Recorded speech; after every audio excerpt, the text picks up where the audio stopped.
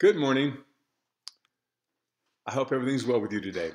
We are at the last paragraph of 1 John, and we ended at verse 13 yesterday. I want to talk about verse 13 in the following context today, and then tomorrow we'll wrap the whole book up. But today we're going to look at a passage that is, is um, it has always been troublesome to interpreters. So let me read to you the paragraph, and then we'll talk about the issue, and you'll recognize that immediately. If you want to get your Bibles out, go ahead and do that. Verse 13 I write these things to you who believe in the name of the Son of God, that you may know that you have eternal life. We talked about that yesterday. And this is the confidence that we have toward him, that if we ask anything according to his will, he hears us. So John goes into prayer now. And, and, he, and he speaks the obvious here. If we ask God for anything, according to his will, he hears us. God is not a divine, you know, um, store that simply hands out what you want. If it's according to his will, he hears us and you'll get that. And if we know that he hears us in whatever we ask, we know that we have the request that we have asked for. Verse 16, here is the here is the troublesome passage about prayer. If anyone sees his brother committing a sin not leading to death, he shall ask him, and God will give him life. To those who commit sins that do not lead to death, there is a sin that leads to death. I do not say that one should pray for that. So we'll come back to that in a second and try and, and ask the question what does that mean? All wrongdoing, verse 17, all wrongdoing is sin, but there is a sin that does not lead to death. We know that everyone who has been born of God does not keep on sinning, but he who was born of God protects him, and the evil one does not touch him. We know that we are from God, and the whole world lies in the power of the evil one. Let's stop there, and we'll, we'll kind of wrap up First John with these last few verses tomorrow. But I want to come back to that phrase there in verse 16 or that statement. If anyone sees his brother, so John's using the word brother, which is presumably his term for a Christian, committing a sin that, that does not lead to death, will ask God, intercede for him, and God will give him life. But he, he reiterates it. Now, I'm referring to those who commit sins that do not lead to death. But there is a sin that leads to death, John says, and I'm not suggesting you pray for that one. He's not saying don't pray for it.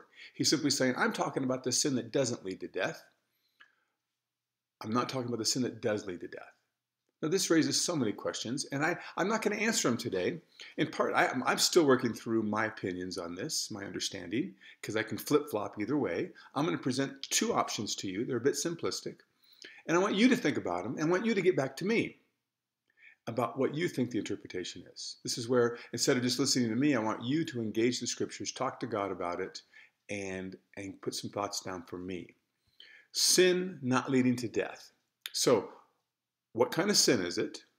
What, what, what could possibly be the sin? John doesn't tell us the sin. And then that, that leads to death or does not lead to death. So, what kind of death is it?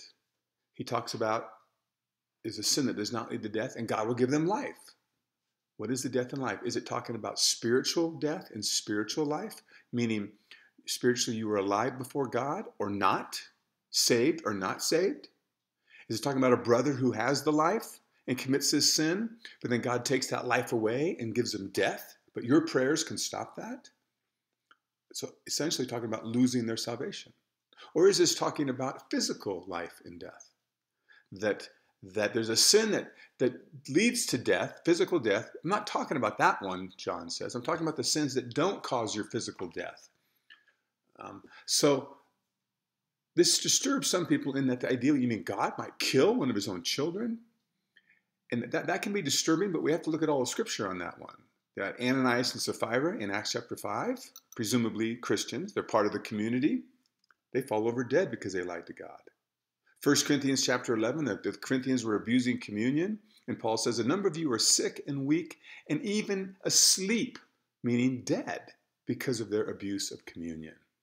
So there's, there's other examples about this that, that it appears. But 1 Corinthians 5, Paul says, Turn that man, an immoral man that's presumably sleeping with his stepmother, a disgusting thought. Turn that man over to Satan for the destruction of his flesh.